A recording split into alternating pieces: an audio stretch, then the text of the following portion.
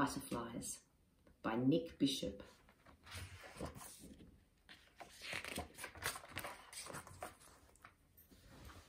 Butterflies are the most beautiful insects. Some have blue wings, some have orange wings. A few butterflies have wings you can see through. The life of a butterfly starts with an egg which hatches into a caterpillar. After it hatches, a caterpillar may eat its eggshell.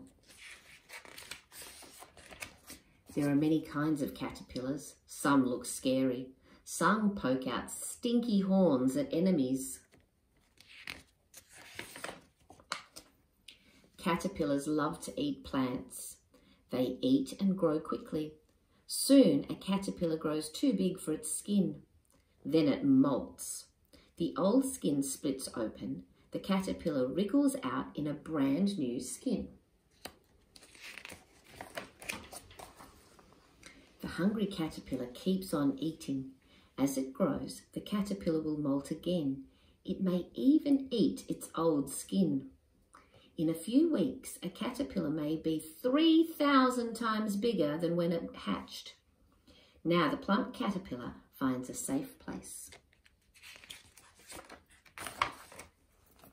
It wriggles out of its skin one last time. Then it turns into a pupa. The pupa barely moves day after day, but inside the caterpillar's body is becoming a butterfly. One day, the pupa splits and a butterfly crawls out. It stretches its brand new wings. It checks out its brand new body. A butterfly has big eyes to see the colours and shapes of flowers. It can taste with its feet and smell with its antennae. But best of all, butterflies can fly. They skip and dance in the air. It's hard for birds to catch them. Butterflies love to visit flowers. When one lands, it uncurls a long tongue like a drinking straw. It drinks a sweet juice called nectar from the flower. Nectar is food for butterflies. When some butterflies close their wings, they can hide like leaves.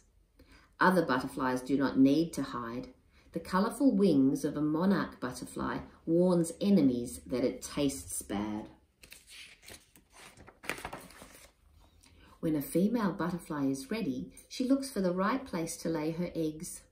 She will find plants her caterpillars love to eat. There she lays her eggs, so there will always be more butterflies.